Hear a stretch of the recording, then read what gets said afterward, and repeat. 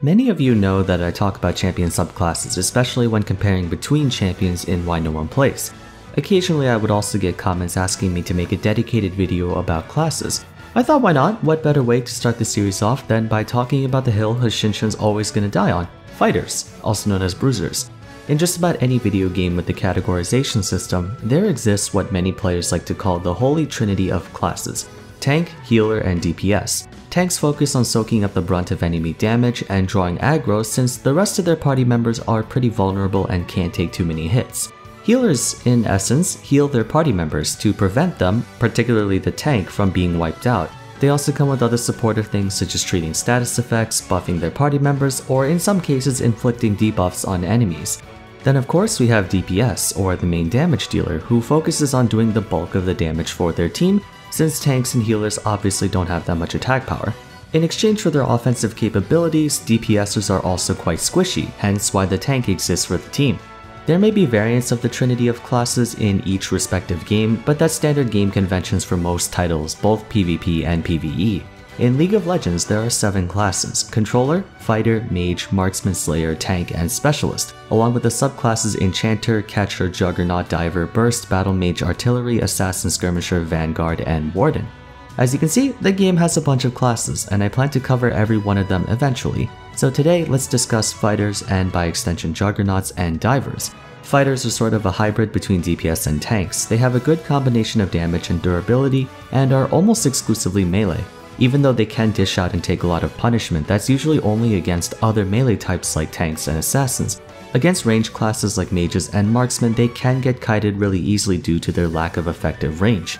In other words, they're an excellent choice against assassins or tanks because they can survive the formless burst damage in most cases and have more damage than the latter. The two subclasses making up fighters are divers and juggernauts. In simple terms, juggernauts have a lot more power and defense, but attack slowly and lack mobility, whereas divers have a lot less defense but can move around a lot faster, although perhaps not to the same extent as assassins. Of the two, divers have some of the most popular champions to pick up since they offer the most amount of consistency and reliability in solo queue. Camille, Diana, Elise, Irelia, Lee Sin, Renekton and such. They've got just enough resilience and self-protection to survive some degree of burst damage and their mobility is usually enough to close the gap on ranged champions, provided they don't have additional self-peel or flash. Thanks to this, you often see divers in top jungle and mid lane. Juggernauts are almost exclusively top laners, and they command a loyal following in spite of occupying only one role. Pretty much every top laner likes to keep at least one or two of them in their back pocket since they're usually easy to play, but can smash people's faces in just as well as divers if they get within range. Aatrox, Darius, Mordekaiser, Sett, Udyr, and Volibear to name a few. Juggernauts are basically League's version of the Berserker class you would see in a lot of MMOs. Fighters have a pretty notorious reputation in the game among just about every person who doesn't play them. In fact, over the past 6 months we've seen a mountain of them get slammed with a myriad of nerfs. Camille, Elise, Hecarim, Olaf, Pantheon, Renekton, Aatrox, Darius, Garen, Udyr, Urgot, Yorick, just about everyone spare a few got toned down as well as their items. I would argue out of all the classes, fighters probably got the most benefit out of Season 11's item reworks, giving us a bunch of super efficient and practical items like Goredrinker, Stridebreaker, Sterak's Gauge, and more. To some extent, this reputation isn't unwarranted. I'd be lying if I said it was rare for a bruiser to dive head-on into a fight and explode everyone like a big fat raid boss. ADC and Mage players remember the terror of getting dove on by an Olaf, Hecarim, or Udyr at full power, and being able to deal literally no damage to them while they tear you to pieces. It seems unfair that these melee carries can do so much damage while being able to face tank all of yours. To a lot of mid and bot laners, fighters are overpowered and imbalanced. On the flip side, players of divers and juggernauts find themselves constantly being shoved into the ground with their champions and items being nerfed time and time again feeling frustrated that their carry potential is always constricted and their agency smothered. Aside from Hashinshin, many fighter mains voiced their complaints about how the game is impossible to carry as a fighter because their role is too weak. So who's in the right here, and more importantly, how is it possible for a class of champions to feel both overpowered and useless at the same time by two different people? I personally am a fighter main myself, I know I don't really talk about my own champion pool, but I do enjoy me some Renekton, Pantheon, Darius, Sett and stuff, but I can see where both parties are coming from. There have been a lot of times where I would run down the enemy bot lane and 1v2 as Darius without taking any damage. Conversely, there have been times where I got kited into oblivion and felt like there was just nothing I could do against a Kraken Slayer Vayne 3-shotting me with all that true damage. Like all points of contention, it comes down to perspective. There isn't exactly a clear answer for why bruisers constantly get nerfed over and over, however, there is a causality for both. League of Legends is a team-based game in that you have 5 players on both sides that have to work together to destroy the enemy nexus, but it doesn't have the same necessity for classes the way other games do. You can win a game with 5 supports just as you can win a game with a balanced team composition, since it's you versus the enemy team, not so much you versus the Nexus. In multiplayer PvE games, each class has to work as a coordinated unit to accomplish an objective, usually against a boss or a dungeon or something. Not only do they start together right from the get-go, but the enemy is 1. the same enemy every time, and 2. usually has a series of patterns and attacks that everyone can agree on to counter together, there isn't a carry in those games because every class plays a vital role in sustaining the operation. The DPS cannot function without the tank, who cannot function without the healer, who cannot function without the DPS. In League of Legends solo queue, while it's still a team-based game in concept, every player has to fend for themselves at the beginning of the game. So in essence, it's not one team versus another team, rather 5 individual players versus another 5 individual players with the option that they can work together to get stuff done. And usually they do, because in a lot of cases there is strength in unity. Bruisers are the only class of champions in the game who are capable of taking on every other class. Even though they may struggle with range classes like mages and marksmen, they are not without tools to stop them. Divers are able to close the gap very easily on AD carries without needing tanks or supports to do it for them, and most juggernauts have at least some way to catch up to ranged champions, especially now with Stridebreaker. In a way, they don't really have a specific counter aside from ironically other bruisers. AD carries get countered by assassins and mages because they either outrange you or burst you faster than you can DPS them down. Mages get countered by assassins and tanks, assassins for the same reason and tanks because they can survive burst damage really easily. Fighters don't exactly beat mages and AD carries, but they don't lose to them that much either. Actually no, that's a lie, enchanters hard counter fighters, so basically Lulu, Janna, etc., anyone with disengage or appeal.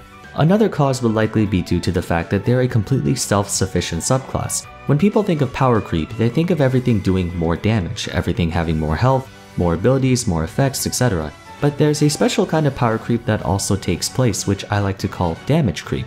As an analogy, I used to play a game called MapleStory, which I assume many of you have as well. Back in the day, when we wanted to take on a bunch of super hard bosses like Zakum or Horntail, we had to get an entire crew of like 30 people together bunch of healers to support the squishy DPSers, and tanks to buff the whole party so we don't all get one-shotted. But over the years, the need for dedicated tanks and healers began to dissipate when classes, especially newer ones, started becoming more self-sufficient, so it became clear that there was no particular reason to waste party slots on healers or tanks when we can just go all damage and kill the boss quicker, relying on our own mechanics, potions, and self-buffs to get through the fight. League of Legends is going through that same sort of damage creep, Champions in the game aren't doing more damage per se, but there are more and more solo carry champions being released that don't exactly need anyone's help to do anything. Uh, a good comparison would be Seraphine and Sona. Sona places a great reliance on her teammates to take care of the damage while she does the support, while Seraphine does provide support but she can also do the damage herself. That's why fighters in particular seem so broken relative to other classes because they basically have the properties of the Holy Trinity. Juggernauts have the durability of a tank, the damage of a DPS, and sustain of a healer. Like Darius, he hits like a mother can face tank a lot of damage and heals a ton from his Q. Divers may not be quite as bulky as Juggernauts, but they can still take a lot of hits. They have the damage of a DPS, and a lot of them also come with sustain and self-sufficiency that a healer or support would usually be providing. Rengar has no shortage of burst damage, the Bruiser build with Goredrinker allows him to soak up a ton of burst, and he sustains like Soraka with Battle Roar. That's not to say supports and AD carries as well as other classes are useless, they're still very much needed. But in solo queue, you've probably ran into a team composition that consisted of perhaps Wukong top, Volibear jungle, Diana mid, and they just bulldoze all over your carries because how the hell is Nami supposed to peel her poor Ezreal against those three? Bruisers are considered overpowered if we look at their individual capabilities. They're the one class that can duel just about everyone, except maybe skirmishers, but in fairness, skirmishers literally are the 1v1 subclass. Where they encounter a little difficulty is when we transition to team fights. All fighters, whether juggernauts or divers, are short-range combatants with really good DPS. The bulk of damage from divers is front-loaded, which means they have some more bursty elements. You think of Renekton, Vi, Diana, Elise, they can still output some respectable damage in an extended fight, but usually their impact is decided from their initial assault. The caveat is that most divers are purely single target. Even if they may have AoE damage in their kit, at best they can only really take down one person at a time. Hecarim can do a lot of teamfight damage with his Q and ultimate, but his E is single target. Same with Camille, Rek'Sai, etc. Juggernauts on the other hand have way better sustained damage than divers, and pretty much all of them, sans Nasus Trundle and Dr. Mundo, have tons of AoE in their kit. In exchange, they generally take a very long time to output said damage. Neither subclass is relatively good in teamfights for this very reason. Even though you think their explosive power and raid boss status makes them perfect for fighting 5v5, it's a lot harder to exert your pressure when you're trying to break through 3, 4, or 5 people instead of just 1 or 2.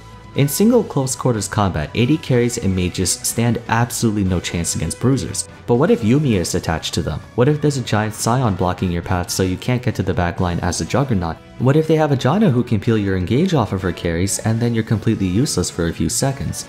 The reason assassins can burst down squishies even if they're right next to their support is because they do it so fast it's almost impossible to react to. But juggernauts and divers are extremely predictable. If they can't flash over a wall, they have to run right towards you. And even then, their combos are marginally slower. When you're head on in a 5v5, you have to account for all the splash damage, crowd control, dashes, and whatnot flying around on both sides that can make it much harder for you to lock onto a single target. It's easy to take down a squishy target if it's just them and at most one other person, but when they're surrounded by their entire team, odds are you're forced to play front to back to get to them. But even though fighters are great at taking down tanks, they still take a long time to do so. It's not like a Darius can two-shot an Ornn even with true damage. He still needs time to get his stacks and Ornn does have a lot of health. As a mage or marksman, it's much easier to survive a diver's assault when you have your whole team backing you up, and it's much, much easier to kite a juggernaut when they're being permaslowed by all the attacks going around and you have some buffer between them and you.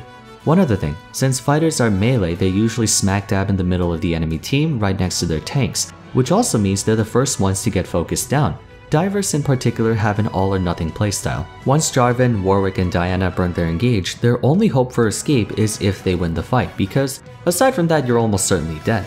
Technically speaking, that is your job as a fighter, to soak up as much pressure and to do as much damage as humanly possible until you fall. But that also entails trusting your teammates to finish the job after the enemy team just blew all their resources to take you down. And, you know, in solo queue you can't really trust anyone. Basically, it's a paradox. You're simultaneously the most self-sufficient class, which is why everyone thinks you're the most broken characters in the game, but you just barely lack the necessary tools to solo carry games the way skirmishers and mages can. That's why fighter mains think it's impossible to solo carry and why mages and AD carries are just better at everything, yet those mages and AD carries also think fighters are impossible to beat. So there you have it, since this is the first episode I'd greatly appreciate some constructive feedback, do you think this was an insightful look on bruisers or are you completely confused as to the point of the video? Let me know in the comments. If you like it, I'll continue on with assassins, mages, marksmen, tanks, and controllers. If you don't, then I'll figure something else to make. If you enjoyed the video, a rating would be much appreciated, and if you'd like to see more content like this, consider subbing to the channel. Also, check out the description down below for links to my Discord and social media, as well as a playlist containing all my discussion videos if you like to watch more, but that's it for today. Thank you all so much for watching, and I'll see you again soon for the next one. Take care.